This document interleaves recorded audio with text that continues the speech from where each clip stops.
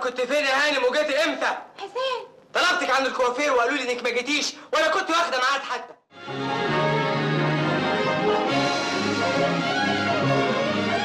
محمد كامل حسن تعددت مواهبه بين التأليف والإخراج والإنتاج ومع ذلك لم يحظى بالشهرة الكافية. في ديسمبر عام 1943 ظهر اسم محمد كامل حسن كمؤلف لفيلم حب من السماء. بطولة نجاة علي.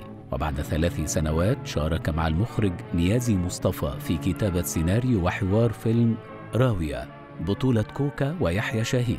وصار كامل مؤلفا معروفا خلال فترة الأربعينيات خاصة بعد أن عرض له المصري أفندي بطولة حسين صدقي ومديحة يسري واصل كامل رحلته الفنية في الخمسينيات فشارك في صناعة العديد من الأفلام من بينها أقوى من الحب.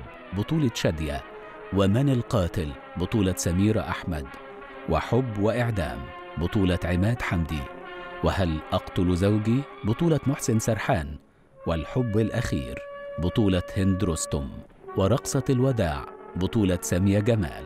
وفي عام 1955 قرر كامل أن يخوض مغامرة فنية مكتملة الأركان. بأن ينتج ويكتب القصة والسيناريو والحوار ويؤلف الموسيقى التصويرية لفيلم الميعاد بطولة مجدة وبعد خمس سنوات وتحديدا في عام 1960 خاض كامل مغامرة أخرى في فيلم أقوى من الحياة. وقد جمع بين الإخراج وكتابة القصة والسيناريو والحوار. ولعب بطولة الفيلم مريم فخر الدين وعماد حمدي توقف كامل عن مغامراته السينمائية. وعاد عام 1964 لموقعه كمؤلف فقط في فيلم دعني والدموع بطولة نادية لطفي وأحمد مظهر. وفي عام 1969 ظهر الفيلم الأخير الذي حمل اسمه مؤلفا وهو زوجة غيورة جدا بطولة زبيدة ثروت وحسن يوسف. ورحل كامل عام 1979 بعد عشر سنوات من عرضه.